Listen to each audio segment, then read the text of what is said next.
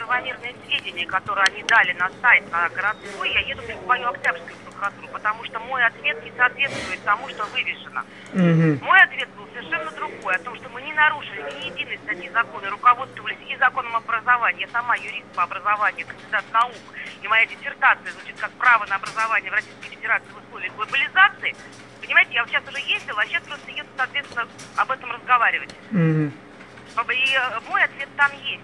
Дело все в том, что когда я все это сегодня увидел, я понимаю, что вы-то не виноваты, вы берете с сайта прокуратуры. Угу. Но прокуратура вывесила неправомерные сведения, потому что я этого ребенка и не взяла, он учится в 18 школе, а не нарушены его права ни в чем, потому что э, субъекты федерации э, отвечают за то, что если ребенок хочет учиться, он учится дальше.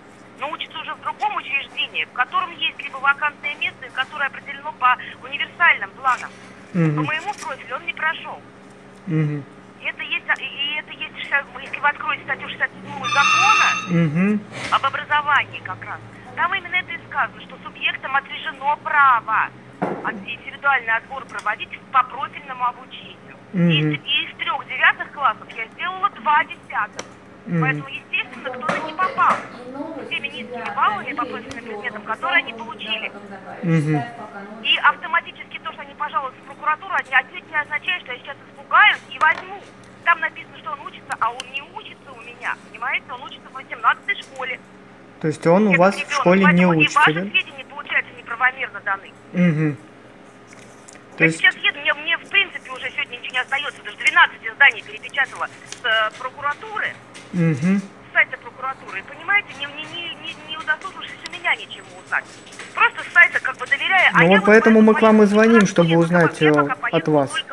Э, свою, пока свою городскую прокуратуру. Угу. И то, что комментирует министр образования, просто потому что как бы, ну, прокуратура уже там сказала, что нам указано. Вот я сейчас разговаривала и с министром образования. Угу.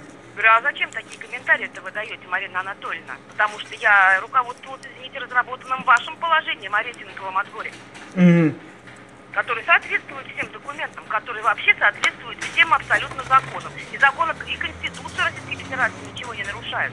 Потому Угу. что Конституция это вообще гарантирует только основное общее, а это уже среднее общее образование, 10 класс. Только закон об образовании в 2012 году принятый, вот он уже расширил как бы перечень. Уже теперь и среднее а, гарантируется общедоступность и бесплатность. Но это не значит, что именно в этом учреждении, правильно? Угу. Вот я вам прокомментировала. Все, спасибо. А сейчас я пока еду в того, чтобы там они, чтобы, во-первых, сняли с сайта, а во-вторых, чтобы тогда дали официальное опровержение. Угу. Спасибо за информацию. Все, спасибо.